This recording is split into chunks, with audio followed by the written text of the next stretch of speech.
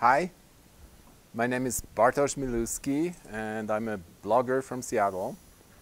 Welcome to my category theory talk. Let's start with uh, the definition of uh, product. No, just kidding. Okay, maybe two years from now, okay, judging by the pace at which functional programming is taking over the world, that might happen soon. Uh, today I want to talk about functional data structures in C++. Now, um, I am really happy to see that there is much more talk about functional programming at C++ conferences. And I think everybody here, well, who uh, doesn't know, doesn't, haven't heard of Haskell? okay, so like a few years ago, that would be uh, everybody.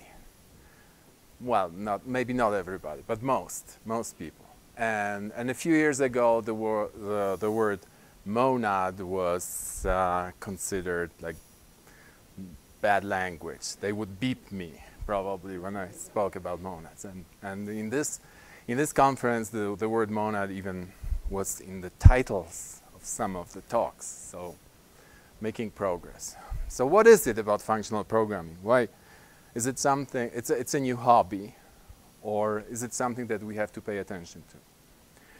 And I think we have to pay very, very close attention to functional programming because times are changing. So there are, there are paradigms shifts and they usually happen in response to external stimuli. The, the, um, environment changes, something new happens that changes things in the environment. And we have to either adapt or die. In this case, the big change is Moore's law is finally over. Remember Moore's law? It's like every year, every 18 months, the speed of processors doubled. So you wrote your code and was slow, but before it shipped, it was fast. Right? This is no longer true. If you write single-threaded code, it will be as slow, well, maybe a little bit faster in a year or two than it is right now, but not much.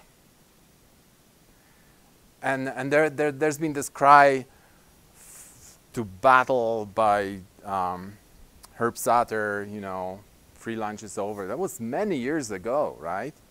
Um, so what happened is uh, we kind of slowly started thinking about it, but not really fast. And I think what helped us is, is that the, the new devices appeared, the portable devices, and, and they were still mostly single core devices. So there was like a new area in which we could start programming stuff and still forget about multi-core.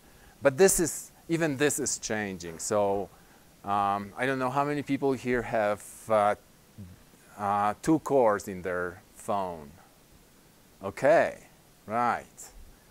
Is there anybody with four cores? Wow. okay. So, eight cores, anybody? No kidding. Um. Aha. all right. So if, if the pace continues, we will all have to learn to write concurrent programs and not just write a concurrent program that it takes us a year to debug.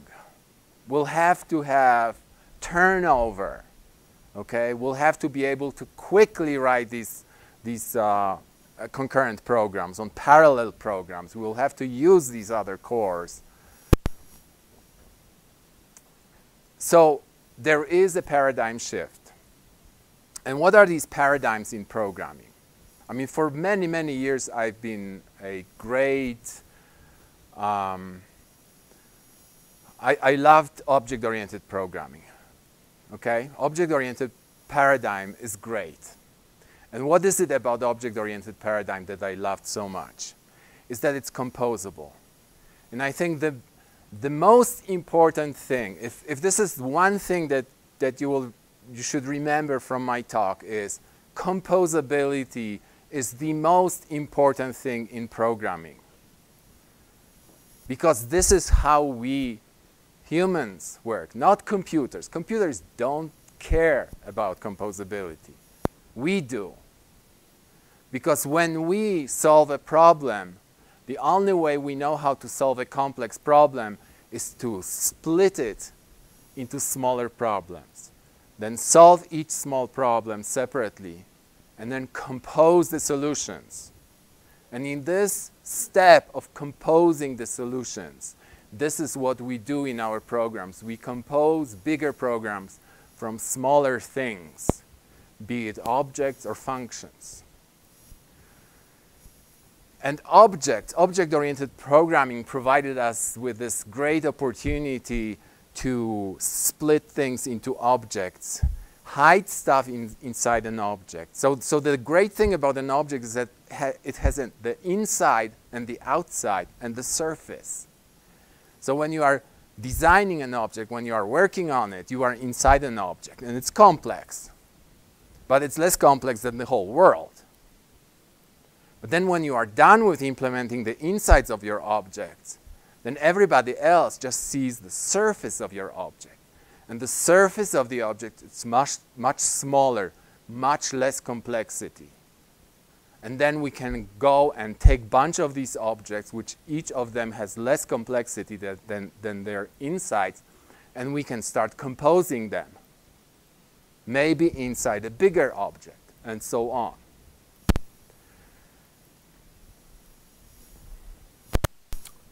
So these are the things that are right about object-oriented programming.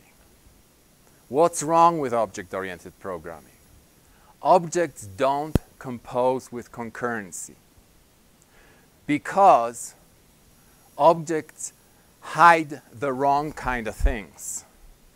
They're great at hiding stuff, not exposing them to the outside. But in a concurrent world, it turns out that they are hiding the wrong things. They, they hide data in a way that it's combined with both mutation and sharing. You have pointers inside objects, you have pointers between objects, and you have mutation. And that's a recipe for a data race. A data race is defined as one or more threads accessing the same memory, sharing, right? Sharing memory and at least one of them mutating it. If nobody's mutating memory, then anybody can share it. But this mutation and sharing together, and when it's hidden inside an object, then you cannot compose anything without knowing exactly what's sitting in this object. What is this object doing to the data that I'm passing it? What is this object doing to other objects with which it's sharing data? What if these other objects are accessed by other threads? So, but there are some object-oriented languages that use concurrency, like Java, right? In Java, every object has its own lock. So maybe locking is good. No, locking is not the answer. It can solve a few problems, but the major problem with locks, and everybody who worked with locks knows that, they do not compose. Right? There is this classic example. You have two bank accounts with locks. You withdraw. You take a lock, you withdraw money, you release the lock, right? But if you are moving money from one account to another, then what do you do? You lock this account, take the money. Do you release the lock and then take the lock to the other account? Well, but in the meanwhile, there's no money in your account, right? And then suddenly your mortgage company says, we are repossessing your home, right? So you hold on to this lock and you are trying to take the other lock, right, to, do the, to, to finish the transfer. And in the meanwhile, your, your wife is accessing your bank account and, and she's transferring the other way. She, she took a lock on this one, right? And now you're both deadlocked. So locks don't compose. If you want to implement transfer between accounts, you either have to expose these locks to the outside, right? Or create another lock on top which says everybody who comes to do anything with any of the account has to go through this lock. And of course then the performance goes downhill. So there are certain answers that functional languages, functional programmers have figure, figured out. And they have figured out these things long time ago. And, and a lot of people say, okay, Haskell has been around for so long, you know, and hasn't caught up. Why?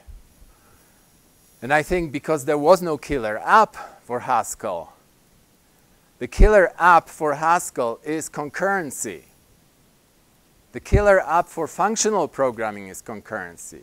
So either we all switch to Haskell or we start thinking functionally in C++ and we try to evolve the language to be more functional, to allow us this kind of safer programming that's possible using functional methods. So immutability is one of these things that functional programmers have recognized as very important. You have data structures and you never modify them.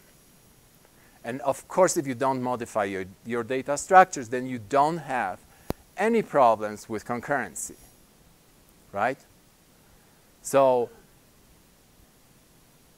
immutability composes with data hiding. You can hide your data inside whatever function, closure, right? And you don't worry that there will be any leakage because it's immutable. It composes with data sharing because you don't care whether data is shared or not if it's immutable. You don't have to go uh, around and copying your data because it changes. You know, you can just have a bunch of pointers pointing at the same memory location if it never changes, right? It requires no synchronization because there's no possibility of data race if you don't have mutation. Doesn't introduce long distance coupling. You know, one object modifying something through a pointer and suddenly another object in another thread saying, what? What happened? Right? And now, of course, you would say, okay, but how can I program without mutation? Okay? Like, programming is all about changing stuff, right? Changing data. If I never change my data, then, then my program is dead. Okay? So the truth is that functional paradigm allows mutation, but in a very, very controlled way so that it looks like there is no mutation. All mutation is done behind the scenes at the bottom. It's the runtime that's doing the mutation for you and making it in such a way that it's totally safe, right? So mutation is not exposed. There is mutation. And if we want to implement functional data structures in C++, we will have to do plenty of mutation. But this mutation will be controlled. So what are these persistent data structures? They are called persistent, and don't confuse this with like data structures that you can serialize to disk, right? These are data structures used in functional languages, and they simply replace mutation with construction. So what is mutation? You give me an object and I return you a, an object that has something tiny bit in it changed, right? There are two ways of doing this, destructive and non-destructive, right? I can destroy your object by making the mutation, or I can give you a new object that's identical to your object with this little change. Is this mutation or not? I don't know. It depends how you look at it. You have, an, you have a different object now. It's mutated. but you haven't touched the, the other object, right? So, so you have like the best of both worlds. So these, these uh, persistent data structures, they embody the composition of immutability, right? So if you have just immutability, you don't know what to do with this. But if you have persistent data structures that allow this kind of controlled mutation, then you can compose immutability to create more complex system in which everything is immutable and yet they mutate. And in, in order to make this efficient, there has to be a lot of sharing. Because of course you can, you can say, okay, I can mutate a vector, right? I can change one element in a vector. How can I do this without mutation? I would have to copy the whole vector and make the change, right? Now that's very inefficient. So if you are dealing with vectors, I don't think this is a good paradigm for, for, for dealing with vectors. So you have to have data structures that allow large amounts of sharing. But then again, since we are talking about immutable objects, sharing is okay, right? So rather than copying data around, you just keep sharing and you just keep resharing and changing the way you are sharing things. I'll show you examples and you'll see exactly how it works. Now, the bonus is that since you are not modifying anything, all the versions of objects persist. That's why they are called persistent data structures. They persist. They, they don't disappear. I mean, you can get rid of them if you want to, but they don't by, by themselves. When you mutate something, the old version is gone, right? If you want to restore the old version, you have to unmutate it, which is a complex operation. So this fact that you don't have, that they persist, that's actually very useful. Okay, so just to repeat, thread safety, no data race without mutation. So you don't have to worry. You can write your concurrent programs very easily, and I will show you an example in which I take a program, make it concurrent, and I don't worry about uh, data races. There is one part of the program in which mutation happens. And that's when you are creating new objects, right? I said, you give me an old object, and I'll give you a new object with a mutation. During this process, I'm creating a new object, and I'm mutating it. So this part is called the construction, right? And during constructions, there is mutation. But there is mutation only of the object that you are constructing. And during construction, there is only one thread that has access to this object. So this is perfectly safe. Okay? What is not usually appreciated is that if you are doing construction of objects in a multi-threaded environment, and then you pass it to another thread or another thread gets access to it, uh, you have to worry about so-called publication safety.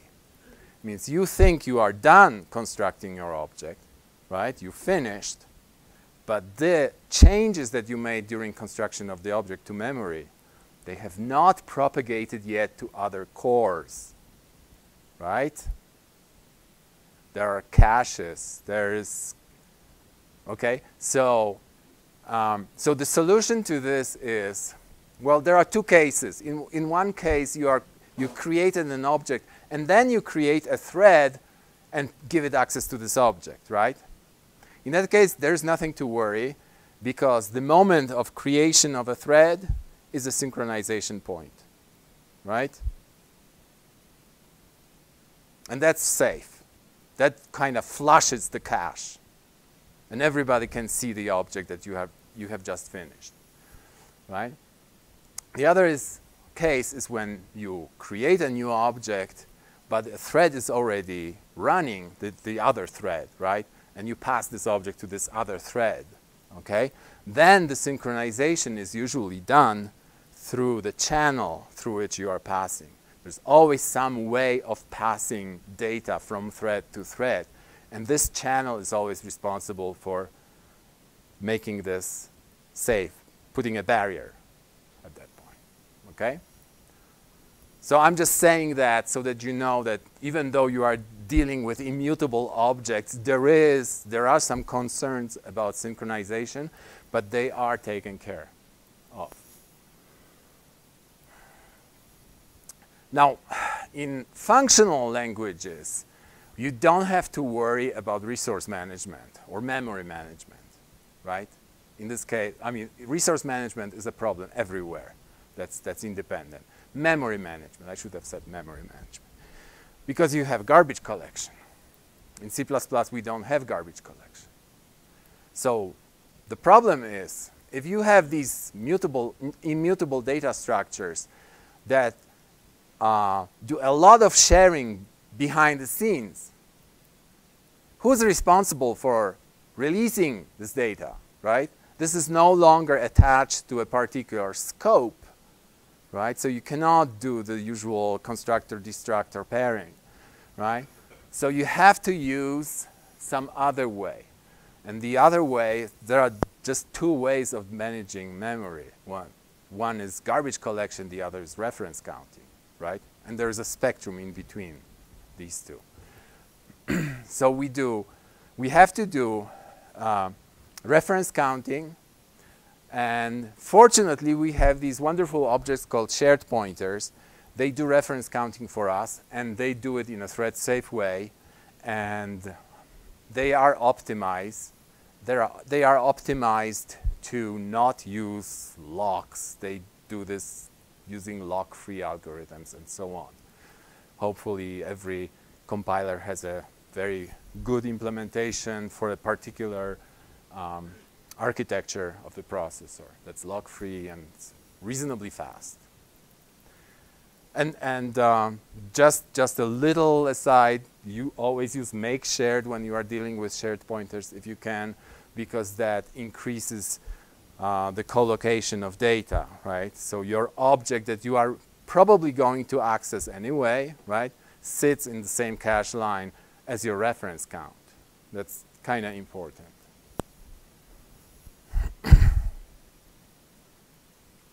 So here's the first example. Um, I haven't really implemented this, but this is some, something that, that probably uh, Sean Parent would, would appreciate. Um, how to uh, um, implement a document using persistent data structures. Um, so let me show you.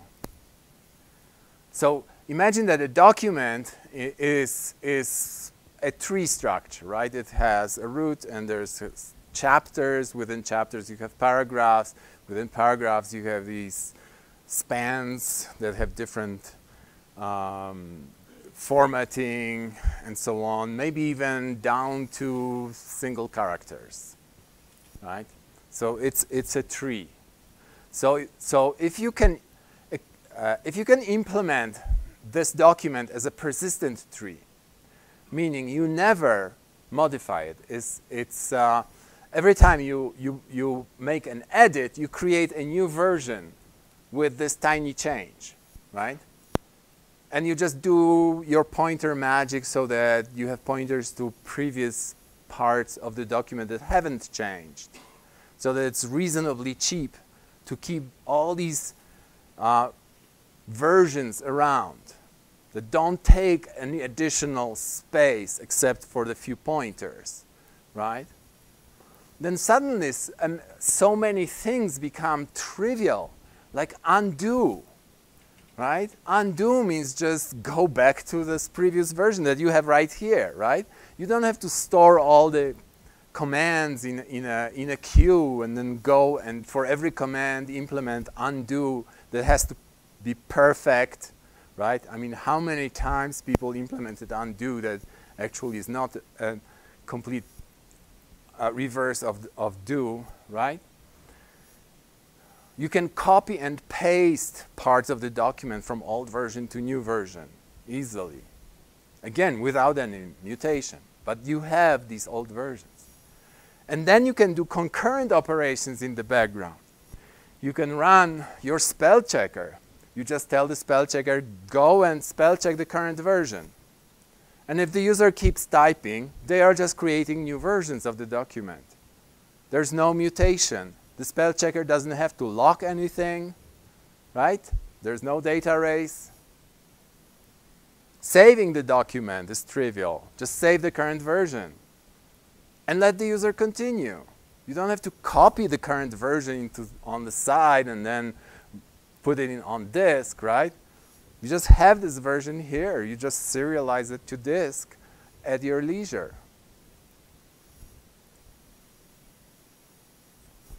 Second example, and this is, this is an example in which I will actually show you code.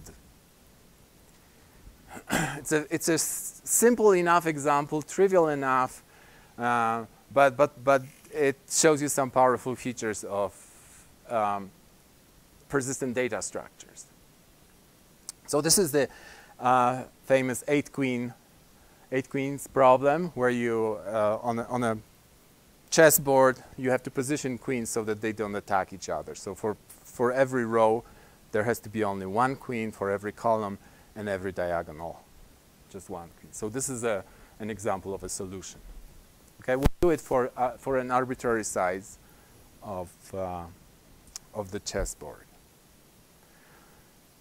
so how, how do you approach this problem? Yeah, this is actually a very simple problem, right? I mean,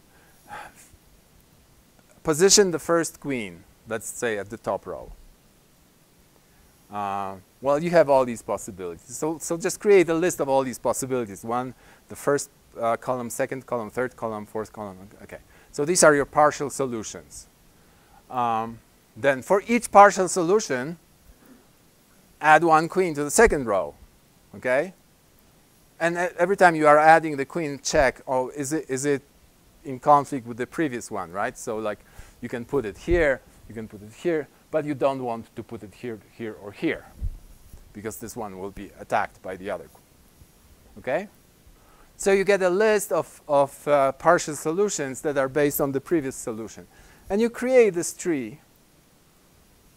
Go down, you, you create all these possible solutions, except for the ones in which, which you pruned because they were obviously invalid right? And then finally, if you get to the last um, row, you say, I'm done, record the solution, and, and continue with the next solution. So the description of this can be explained to, you know, a preschooler. And this is called a divide and conquer kind of algorithm, right? Um, so we have, the, we have to have this object called partial solution, which has the first k rows filled with k queens, right? If k is equal dimension, let's say 8, then we are done. Otherwise, we refine the solution. So this is the refinement stage. Generate partial solutions, um, in this case with an unchecked queen in the k plus first row, right? And then recurse. Recursion, create the next, next, next, next, next. And this is a very generic divide and conquer pattern. This can be used to solve a tremendous number of different problems. Can we generalize it? Can, can we write a, uh, uh, an algorithm for that that's generic? Absolutely. Here's the generic algorithm.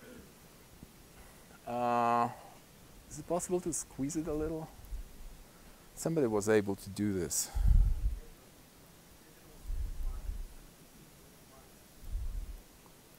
These are minus. Uh-huh. No, I think you had to also press mute or no?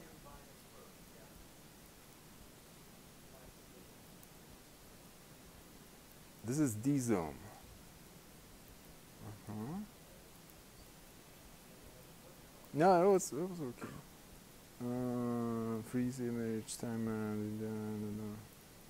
input, menu. I think menu. You have to press menu, huh? No?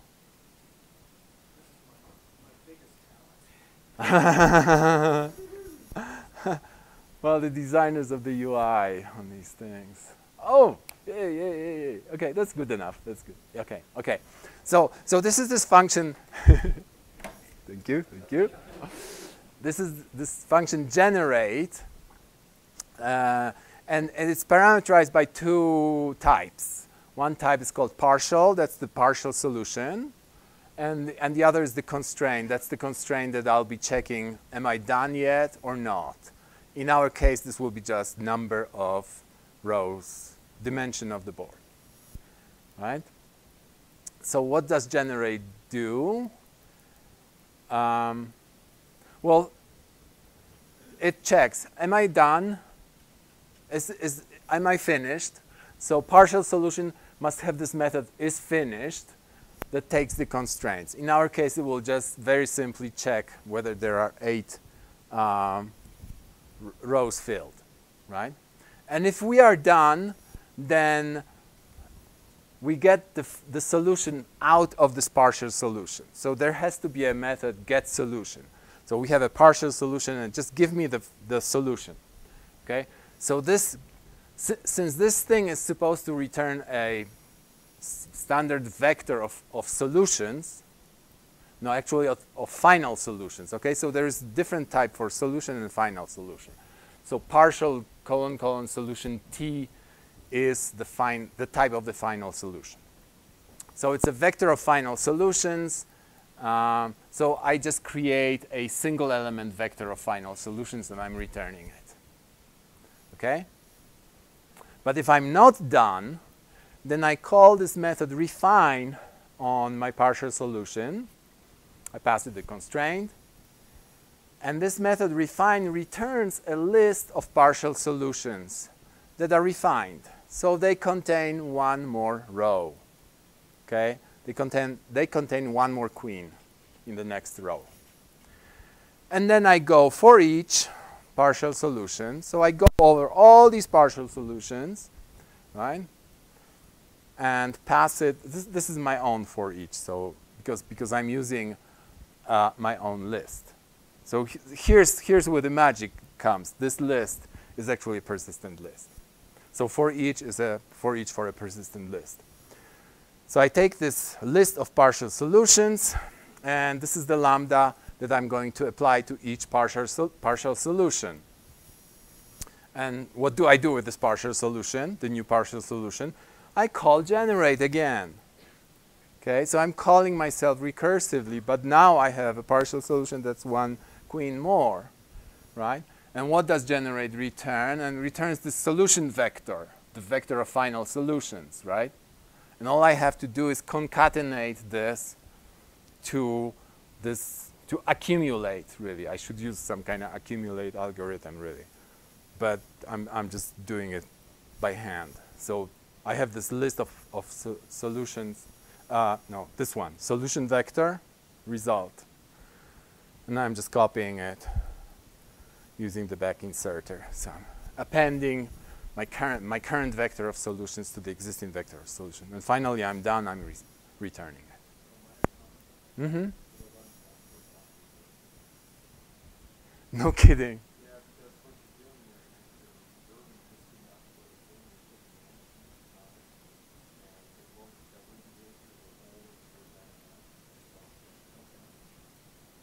Oh, okay, okay, cool.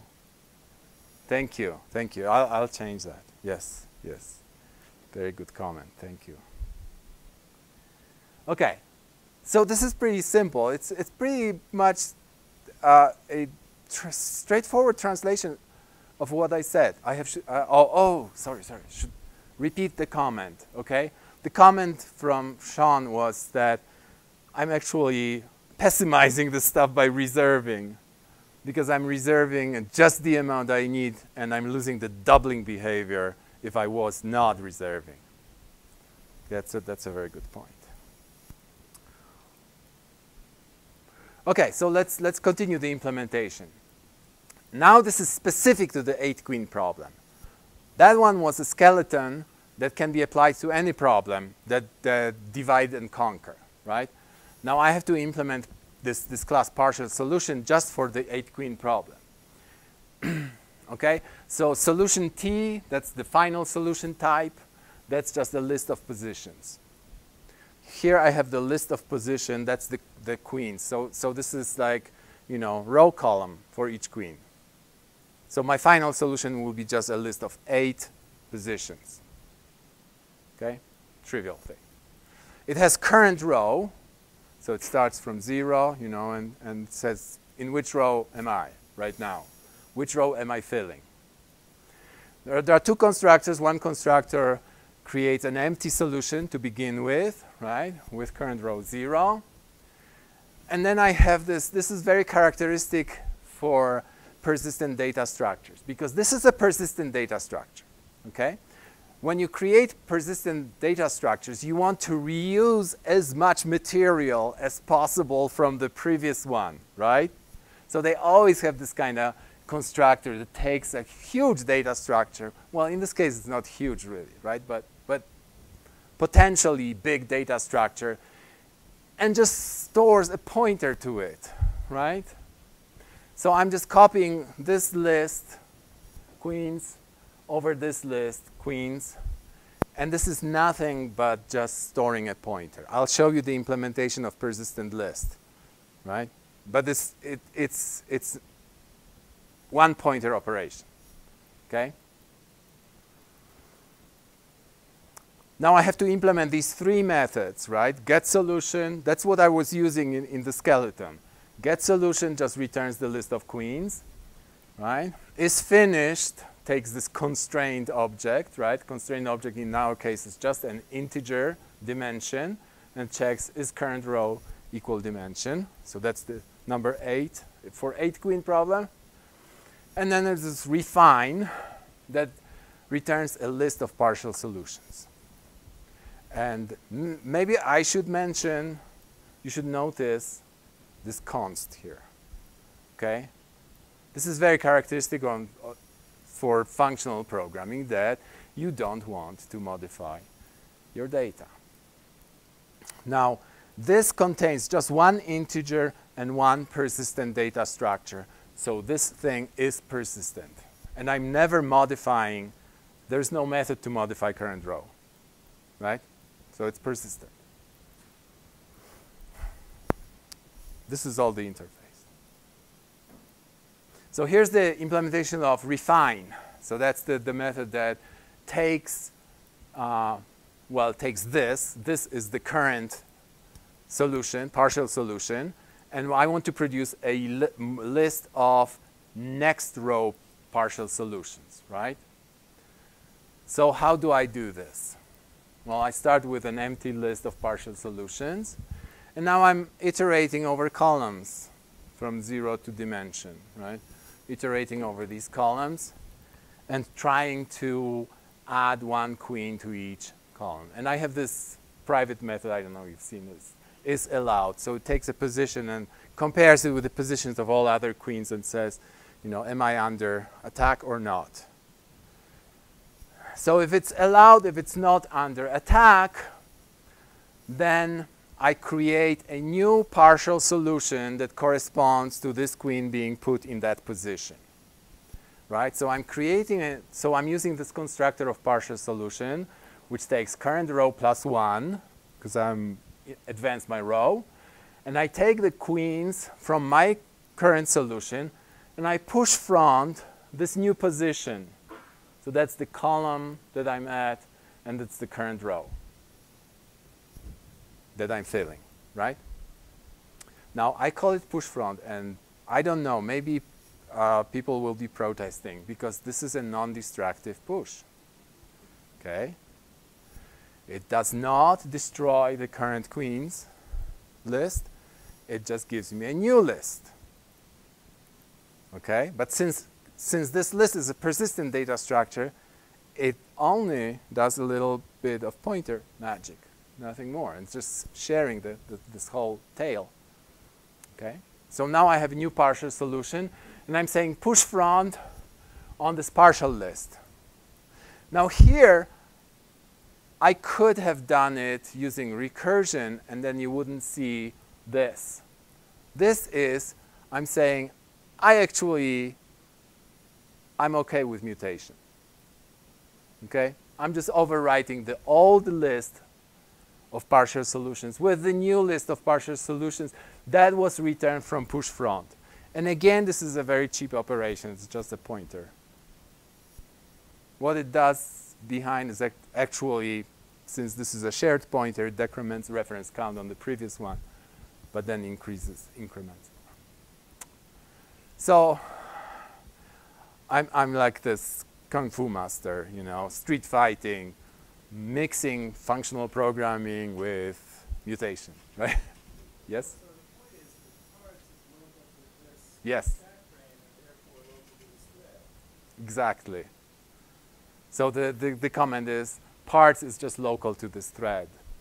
It's, it's only one thread that's accessing it. I can do whatever I want. I can do mutation. Nobody cares. So notice again, push front is a constant method. It does not really push stuff on the front. It just gives me a new list. Yes? Hmm? Call it cons? Cons, yeah.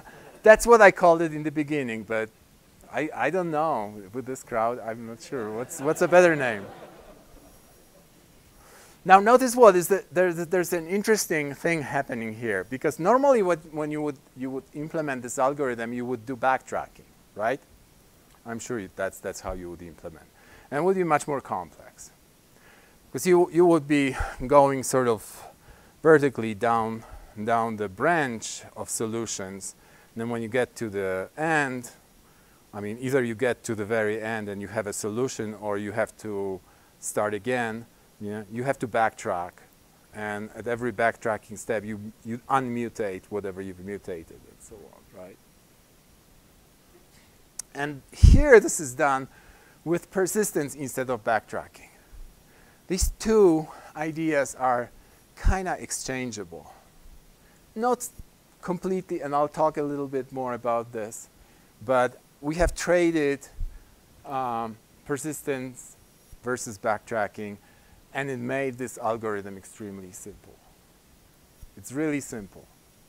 I mean, if you don't see the simplicity of this, then you should try implementing it with backtracking.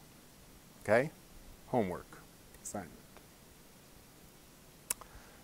Okay. Well, before I show you this, um, let's go back to generate, right? I want to make this parallel. Am I crazy? I mean, here's a loop, yeah, right? It's a, it's a for each loop. Why don't I do this in parallel?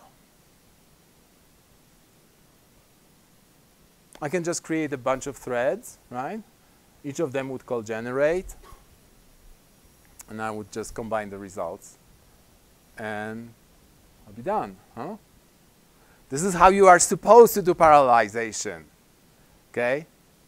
And anybody who did concurrent programming in their lives must recognize that I'm doing something really crazy and dangerous, right? This is a bomb and I'm diffusing it, okay? which wire should I cut, the blue one or the red one?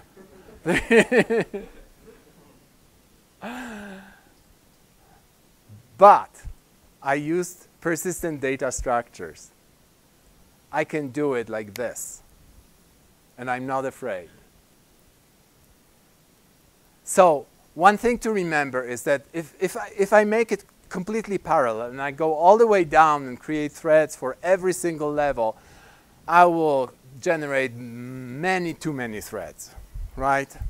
Because I would generate threads for every single branch down to the leaves of all possible solutions, which is like, I don't know, 8 to the power of 8 or whatever, right? So in all this kind of parallel, parallel solutions, you want to stop parallelizing at some, you want to throttle it, right? So I will add one more argument to generate, which will just give me the depth uh, to which I want to go parallel. And when I get to this depth, I will just switch back to this solution, which is uh, sequential, right? So there's a slight, one more para parameter. And let's see how this is implemented. Generate par. So the first argument, integer depth. I'll be decrementing it until it hits zero. So when it hits zero, then I switch to generate. That was the uh, sequential solution. Cool. Otherwise, I ask, is finished? Okay, well then return the solution, right? Nothing, nothing changed. Otherwise, okay, now I have to think a little bit. I have to uh, create a vector of futures, right? Because I'm now spreading my work among threads. So I need a list of futures and, and then I go over this loop. So I'm, I'm doing it really by hand. I mean, there's probably could be some higher order parallel loops implemented and so on. But I want to show you all the details. So inside this loop, for each partial solution, I will start async. I will start a new thread, right? I will capture these things into my lambda, and inside this lambda, I will call generate par recursively, right? So this is identical to the previous thing. And, and uh, uh, async returns a future of solution vector. So this is the solu uh, final solutions. And I'll, I'll push back this future on my vector of futures, right? So I'll, have, I'll end up with a huge vector of futures. And at the end, I will call when all. This is not part of the standard yet, but this is, this is this uh, uh, barrier where we are waiting for all these futures to finish. When they are all finished, they will give you a vector of solutions, and then you want to concatenate all these solutions together. So I have a function concat all that concatenates a bunch of vectors. Right? And that's it. I have parallelized the stuff. Okay? So notice I parallelized the skeleton. I can reuse the skeleton with any divide and conquer algorithm. Right? And as long as my data types, my partial, especially my partial, is a persistent data structure, this will work. That's the only condition. Partial has to be a persistent data structure. And this will work. So now you, of course, want to see the implementation, right? Persistent list. And I, am glad that, um, that David has this talk about uh, uh, algebraic data structures because this is, I, I was afraid to talk about algebraic data structures and I'm not going to do that, but, but you will immediately recognize what I'm doing. Because I'm defining a list as an algebraic data structure. I say a list is either empty, right, either or, or is a tuple element, which is the head of the list, and another list, which is the tail of the list, right?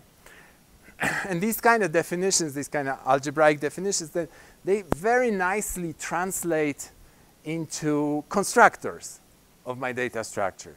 Because that, that, that just tells me that there are two constructors, empty and this one. So list of nothing, that's the empty constructor, and the other one will take an element and a list. So the other one is takes element of type T and a list that's the tail. Okay? Now, how do I implement it internally? Um, well, it's, it's, it's an either or thingy. So uh, probably the simplest implementation, I mean, I could, I could implement this with a Boolean and, and so on, make it complicated. But in this case, the simplest implementation is just a pointer pointer can be a null pointer or non-null pointer. If it's null pointer, that's an empty list. If it's non-null pointer, then it's a non-empty list, right? So I put a pointer, uh, where is it? Here, here. It's a pointer to a constant item, okay? It's a persistent data structure. I will never mutate it. The item is const. And this item contains the value and contains a, a pointer to a const next item, and so on. So, I mean, you've seen the implementation of a linked list a million times, right? So this is just one of the variations of, of it. Right? And null pointer is the encoding of an empty list for us, right here. Okay? Now, of course, it says here, as if we had garbage collection, right? I can't have a destructor here because I'm sharing everything, okay?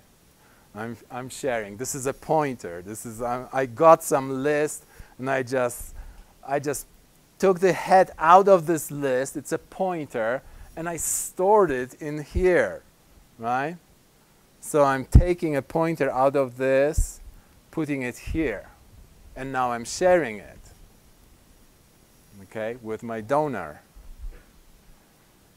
So of course I have to implement it. Oh, okay, before I say that, let me, let me implement the, the other methods, okay?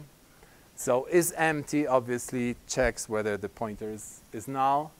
Front asserts that it's not empty, takes the value from the head. Uh, and pop front and push front are both const method. And they both create a new list. So pop front will create a new list from the tail from the tail of this, right? And this is a, a, constructor that's a private constructor that I haven't even listed, right? Because nobody else should be using it. That's not for the users. It's an internal thing. And push front creates a new list with this value and this as its tail. And again, it's just taking a pointer. It's, it's all pointer manipulation.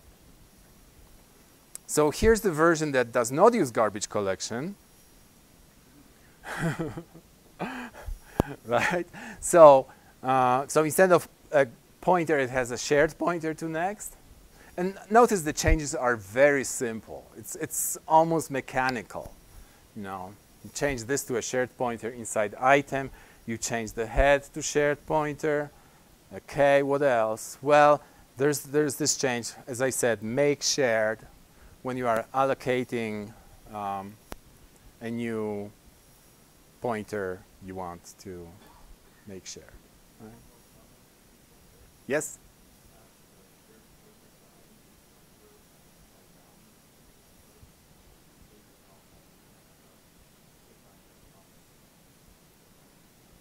Uh, which, which part?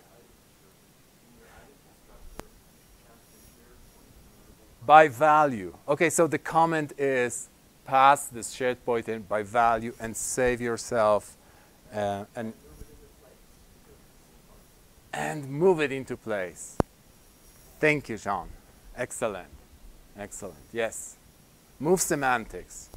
I was just going back and forth between move semantics and reference semantics. I'm still not very well versed in it.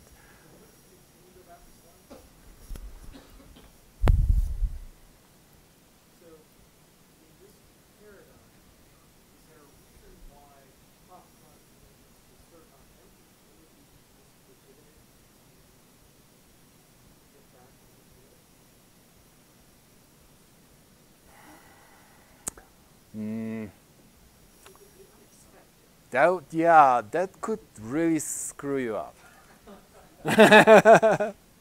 okay? So it's better to assert. It's better to assert because it's a precondition.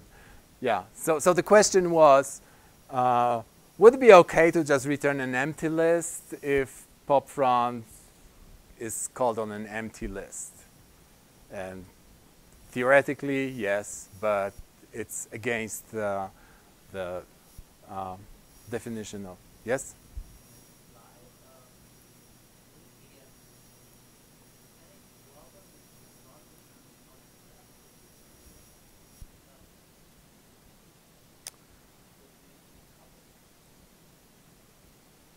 Uh, this one, would it be okay to return a const ref? Yeah. As I said, I'm kind of tossed between these yes?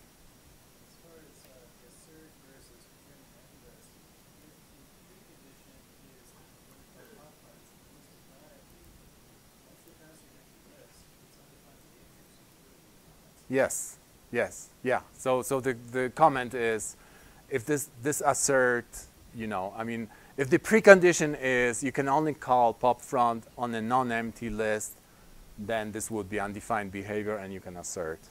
And that's exactly what it is. It's, it's undefined behavior. Okay. so now I want to develop this in slightly different direction.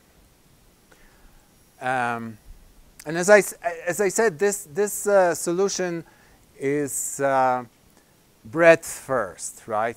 I go 30 minutes? Okay.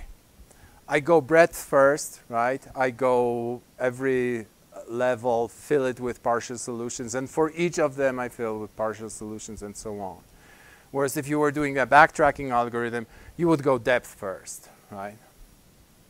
And arguably, depth first requires less storage, right? Even though we have these uh, um, persistent data structures that share a lot of stuff, still there will be an explosion, okay? So is it really better? Is it better to, to do backtracking solution? and the thing is that you can turn this, this greedy um, breadth first solution into depth first solution by making just one small change. Make this list lazy so that you never evaluate the whole list of partial solutions that you got, right? Just evaluate one by one. Store them lazily, only when you need them, which, is, which has this great advantage that your algorithm still looks almost the same, but behaves completely differently. It just looks like you are getting a whole list of partial solutions, right? But you are really getting only one, and the promise for the rest of them.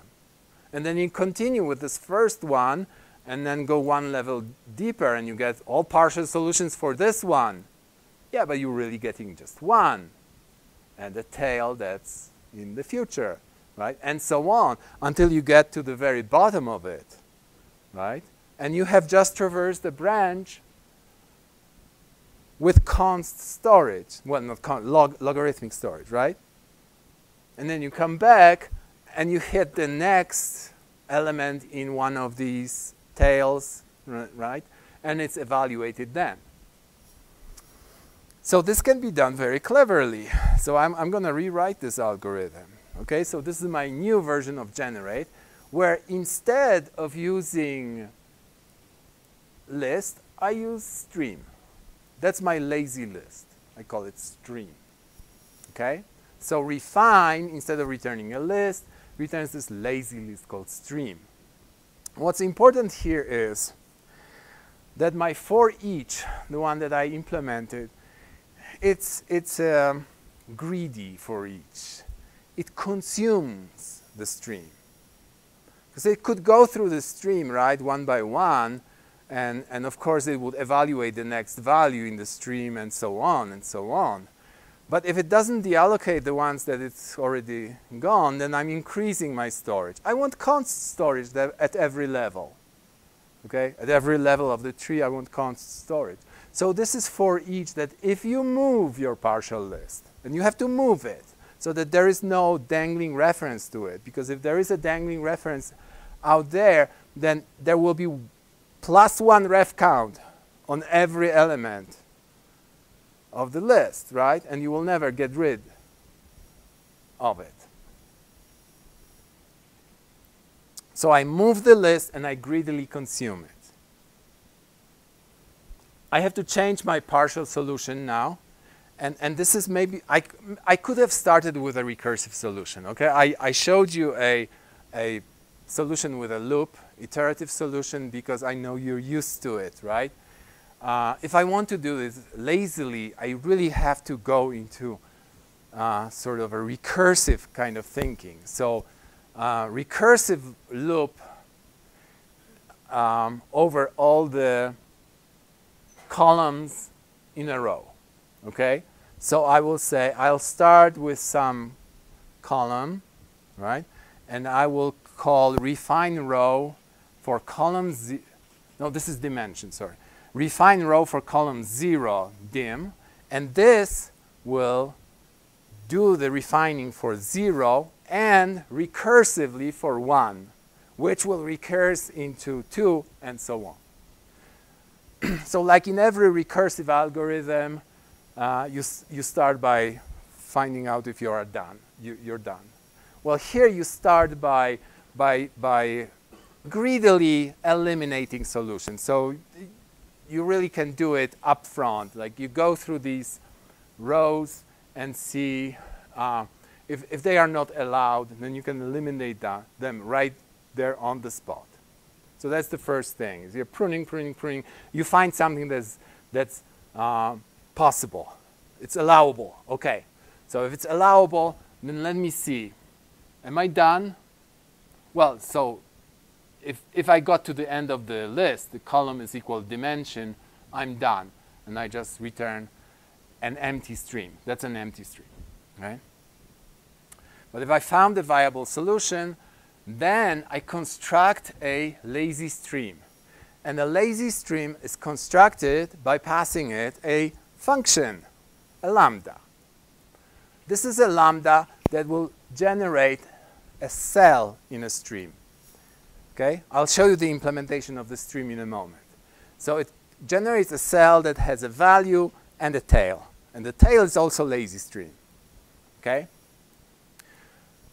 So the value that I want to put in my stream is this partial solution, just like previously, current row plus one, queens push front, new position, right? So that's my new solution, and that will be my partial solution, the head of my stream. The tail of my stream I get by recursively calling refine row with call plus one, okay? And finally, I'm creating a cell from value and stream. So that's my constructor for a cell. Okay? Now what happens is, even though it looks recursive, right? It looks recursive. I'm calling refine row here. It's not, right? Because this lambda is not evaluated here. This lambda is stored as a function pointer, as a function, right? and it will be called later when it's needed. So later on it will call refine row, not right now. So you probably want to see the implementation of a lazy stream, right? And it's not the best implementation, I know, because Eric hasn't gotten to it yet. So he hasn't, he hasn't optimized it for me. but I'm sure when he gets at it, he will optimize the heck out of it and it will be a, a totally acceptable thing. So, so again, algebraic data structures, and lazy stream can either be empty or it, be, it can be a suspended cell. So immediately two constructors, empty or suspended cell. Now suspended cell is created using a function. It's a function that returns a cell. Right? This is the lambda that I was passing to the constructor there. Right?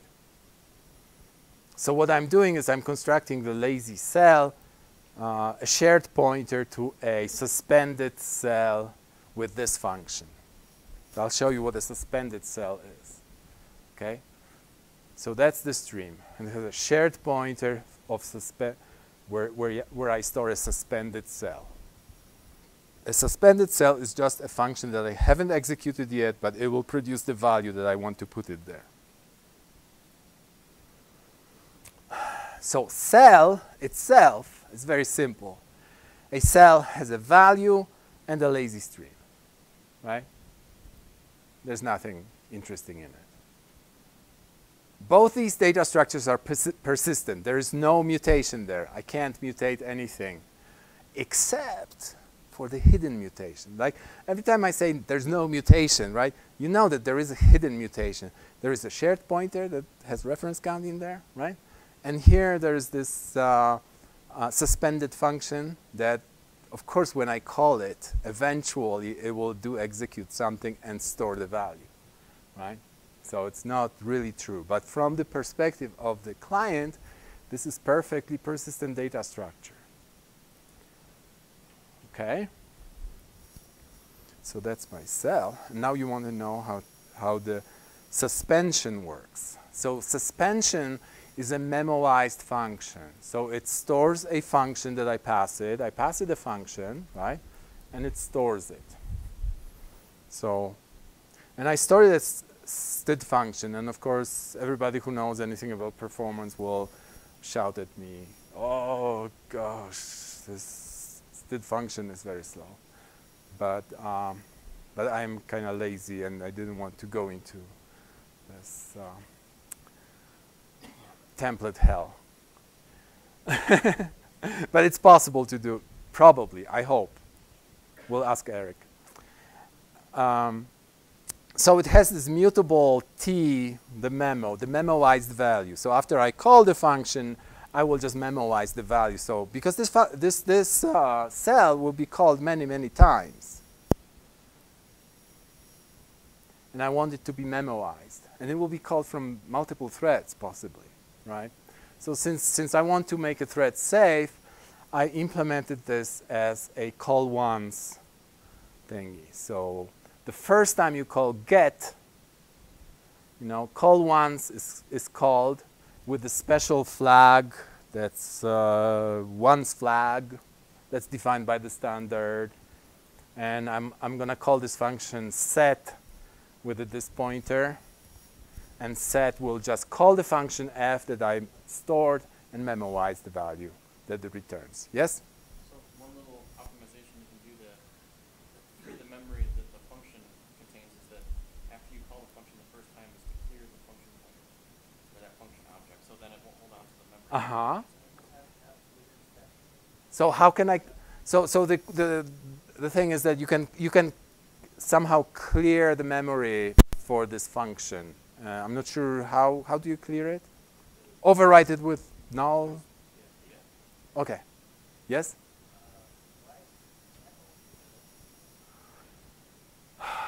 what? Uh, uh, I, I, I, guess maybe in this version it doesn't make. I, I, I, I think finally I made get uh, const.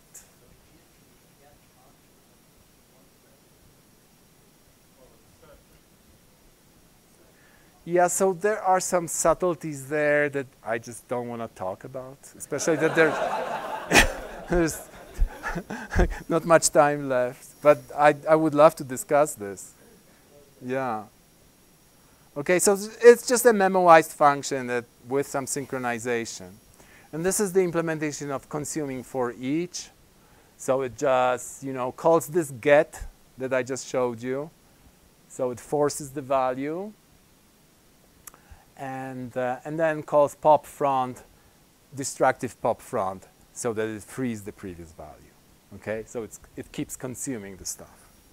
Now this disregard, it's, uh, I, I, I thought I had to implement value semantics, uh, move semantics, but I think this is like automatically implemented for me as a default constructor, right? Am I sure? Is that true? Okay. So, so let's talk a little bit about performance. So this, this particular demo, this, this little program is just too toy-like to, to really measure performance. There's, nothing is happening there really except for the stuff that matters. Um, so I, I actually, I, I first implemented a different program. It was a conference timetable problem, which is also this kind of dynamic programming problem, very similar to this, but more complex. It's more complex, and I had to use other persistent data structures like maps. I implemented red, black trees as persistent data structures, and I used them. So um, this is this is the book from which I, I took the um, this this example. It's called Parallel and Concurrent Programming in Haskell by Simon Marlow. Everybody should read this. Learn Haskell. Read this to learn how to do parallel programming. It's, a, it's really great. It's a great book. Uh, and I'm, I'm just going to go through this book and blog one example after another translating into C++. It's, it's really worth it. Okay? So the, the divide and conquer skeleton actually was from that problem. And I just took that skeleton and moved it to eight, the 8 queen problem with almost no change. Um, and I implemented parallel and lazy versions and all combinations. And I tested the performance. And of course, Haskell does not have the same performance as C++, right? So you, you'd probably expect, okay, two, three times slower. Huh? It, three orders of magnitude slower. Haskell beats C++ by three orders of magnitude. Okay?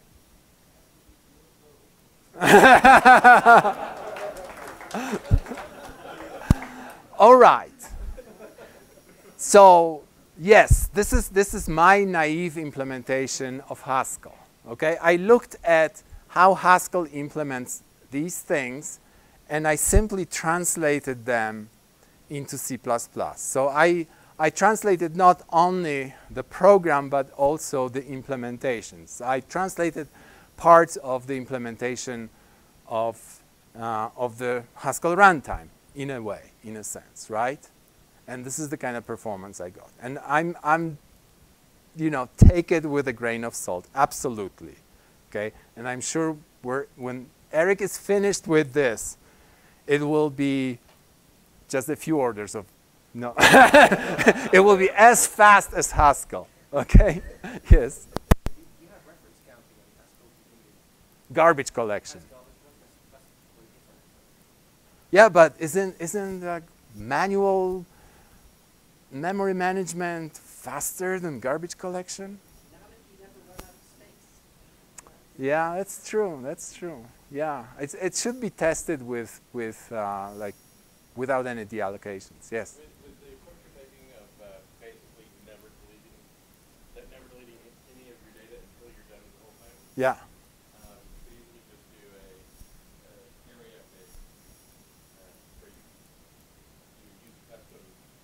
Or mm-hmm. somewhere.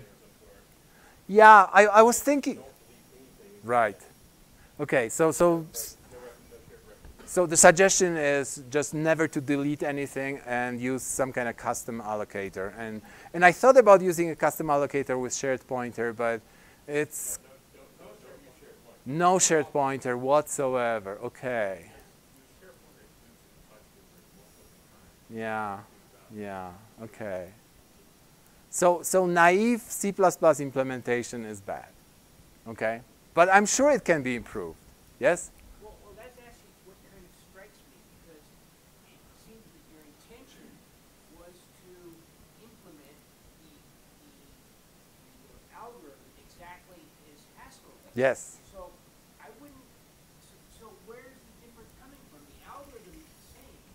Really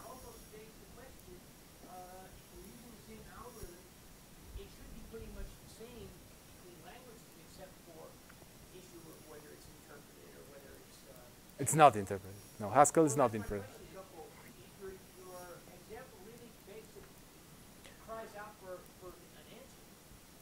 So, so th th let, let me repeat the question for the camera. I have to. Oh, okay. So, so the comment is that uh, this just cries for an answer.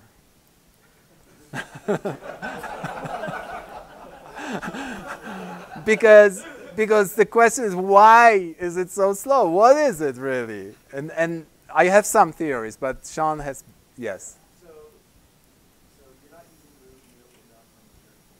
Okay, not enough move on shared pointers, yes. hmm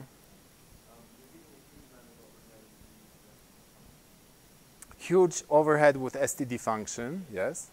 hmm Agreed.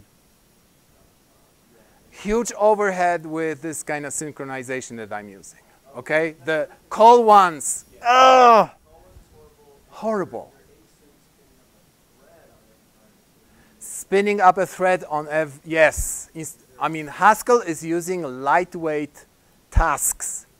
I'm using very very heavyweight threads. Obviously, yes. Yeah.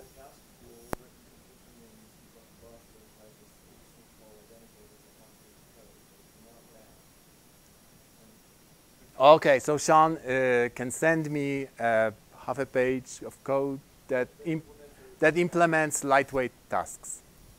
Excellent. That's that's that's what I was expecting to learn in this conference. Yes. Did you try uh, subjecting C++ code to a profiler? Did it work actually? Did I try a profiler? Yes. And I saw that it was spending most of the time in NTDLL.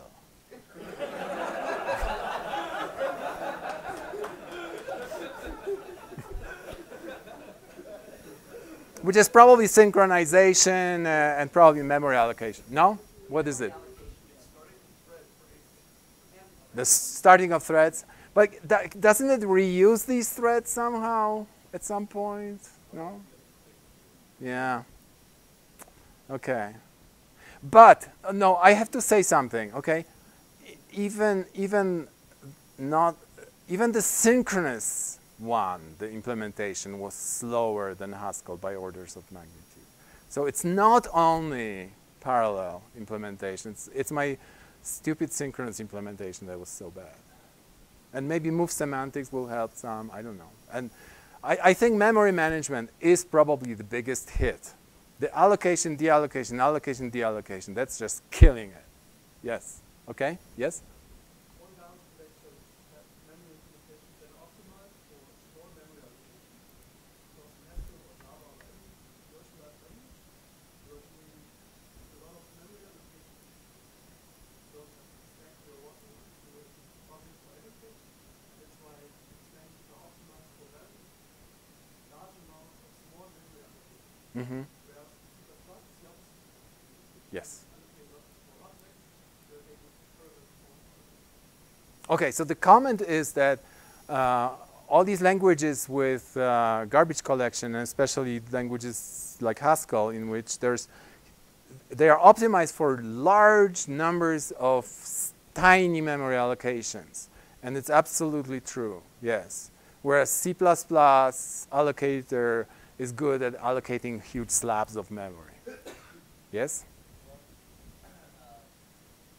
modern concurrent garbage collection is just way better at managing the memory of many threads than parallel. Yeah. Use reference counting, which keeps synchronizing between the threads Mm-hmm. and then locking the entire heap just to read that one object, and that's the next. You may have many threads. but It would be interesting to see how many of them actually run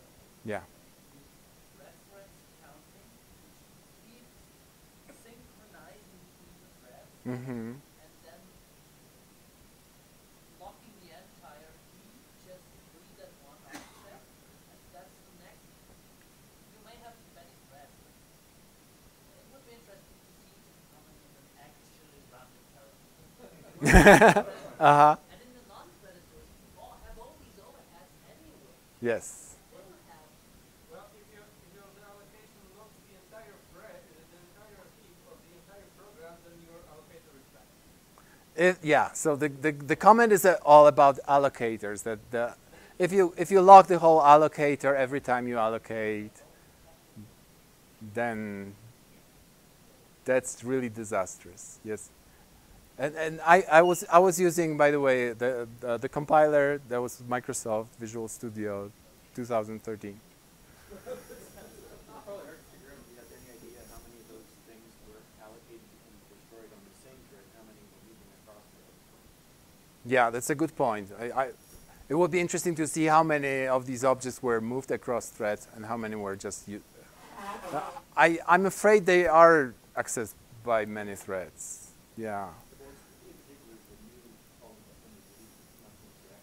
right. So it's, it's, yeah, it's created in one thread and deleted in another. It's, it's very likely. I mean, this, this, all this code is on GitHub, okay? I put all this code on GitHub. So, so please go ahead and, and, and try to figure out why it's so slow. And, and, and some of these problems probably are because I'm not such a great programmer and they can be fixed.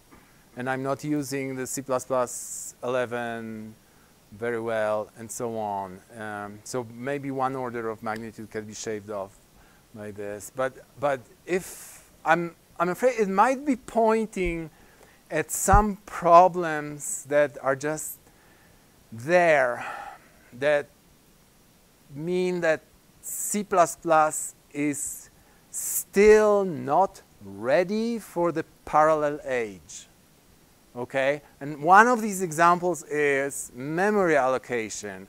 That we are so happy with the memory allocator in C++, but it's always used in the same way to, to allocate these slabs of memory, the vectors. And here, when you are using fine-grained algorithms and multi-threaded algorithms, that might really be bad. Five minutes, okay. More questions? Okay, so I, I won't have time on for it.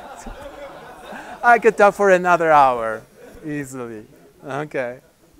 So, so let me just summarize this. You know, there, there are tremendous advantages of this. Uh, um, if, if, if we can figure out the performance, then this would be a wonderful way of implementing things. Because it's so, so easy to write programs, right? Implementation follows the algorithm, and it's not, it's not following the complex algorithm, it's following the brute force algorithm, right?